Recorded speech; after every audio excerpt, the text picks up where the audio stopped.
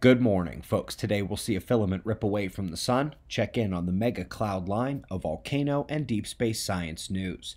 Let's begin over at spaceweathernews.com and find the last 24 hours on our star appear relatively calm. No sunspots, just a large coronal hole turning through towards the western limb.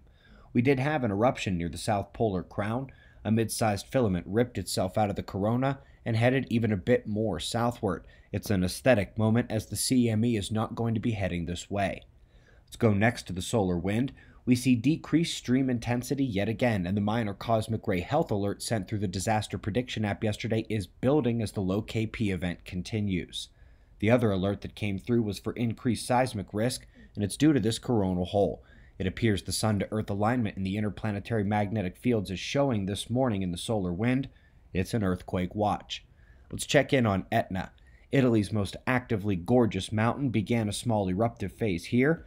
Just as long as Campi Flegrei stays quiet, we'll enjoy the show. As the torrential rains hitting the west coast begin to break records, know that another storm will run down that coast starting tonight, and you'll see major storm alerts in our ending wind maps through the eastern part of the country too. But here, please note once again the North Atlantic system and its cloud line reaching back across the continent at its peak yesterday, it stretched more than 8,000 miles, nearly to Oceania. This morning, it does break south of Hawaii, about a thousand miles shorter. Let's go to the science. We're starting with globular clusters, massive spherical clusters of stars that move as a tight family group around larger active galactic nuclei, a mini dwarf satellite in its own right. Well, now Hubble has wide mapped the skies looking just for these globular clusters, which can actually show themselves in light profile as well as the galaxies themselves. And when you take a look at the normal view of the heavens, let's go ahead and add the globular clusters in there. That is a bit more than expected.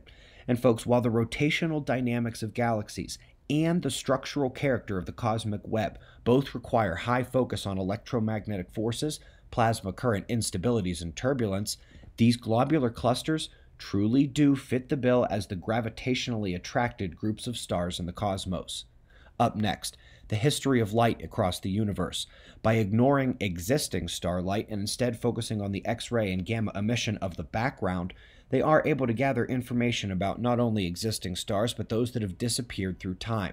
By determining how much gamma signature has photon collision along the way to produce electrons and positrons, they are able to determine the forest through which this light reaches us, and have been able to confirm star formation rates in the early cosmos.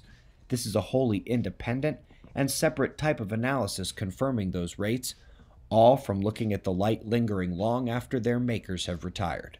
I'll leave you with an article recommendation on the stagnation in physics. As bad as it might seem to those of you listening here daily, wait until you get a physicist insider's take on the catastrophe. The cosmology is something we'll address here at the conference in a couple of months, along with climate change. It's been five years since I took a big swing in presentation form, but in preparing the slides yesterday, I realized the data demands recognition of error in the entirety of climate change science, every last piece of that 97% consensus. We've got your wind maps followed by shots of our star to close. We'll do this all again tomorrow, right here, but right now it's 4:05 a.m. in the new Valley of the Sun. Eyes open, no fear. Be safe, everyone.